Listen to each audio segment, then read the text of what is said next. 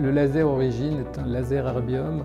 Euh, l'intérêt du laser herbium, c'est d'avoir une amélioration euh, de la qualité de la texture de la peau. Donc le laser herbium va agir sur le derme.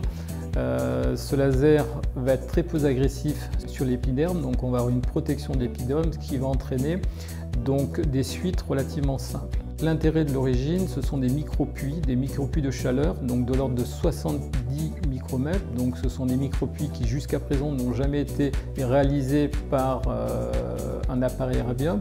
Euh, grâce à ces puits de chaleur, on va avoir une, euh, attraction des fibroblastes au niveau de la zone que l'on va traiter. C'est grâce à ces fibroblastes que l'on va avoir un réagencement et la formation de nouveaux collagènes de bonne qualité qui permettra donc la, durabilité du traitement. Le laser herbium agit généralement euh, sur le relâchement cutané, il va agir en améliorant les rides, en améliorant les ridules, on va aussi agir sur les irrégularités de la peau, donc on va faire disparaître certaines cicatrices, des cicatrices d'acné, d'autres cicatrices post-traumatiques, et on peut aussi agir sur des hyperpigmentations.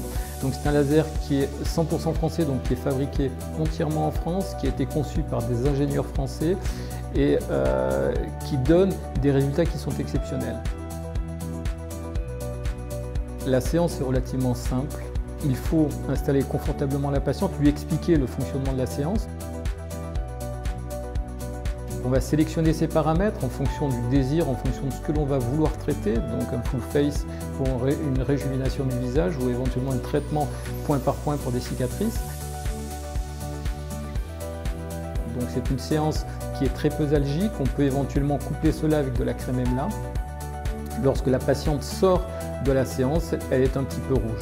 La séance va durer donc euh, en fonction de la zone que l'on va traiter 10 à 40 minutes. Par contre, on ne peut pas promettre au patient un traitement définitif et durable en une seule séance. En fonction du désir du patient, en fonction du stade de l'héliodermie, il faut faire un plan de traitement.